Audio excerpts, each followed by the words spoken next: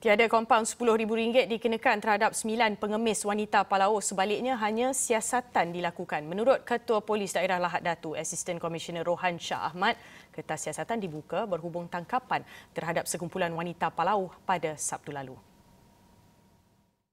Siasatan dilakukan mengikut Seksyen 269 Kanun Keseksaan dan Peraturan 17 Peraturan-Peraturan Pencegahan dan Pengawalan Penyakit Berjangkit, langkah-langkah di dalam kawasan tempatan jangkitan, kawalan pergerakan pemulihan kurungan 3 2021 dan Seksyen 6 kurungan 1 kurungan C Akta Immigration 1959-1963. Pada Sabtu, polis menahan sekumpulan komuniti Palau termasuk kanak-kanak yang mengemis di dua persimpangan lampu isyarat di Jalan Bunga Raya di Bandar Seri Perdana.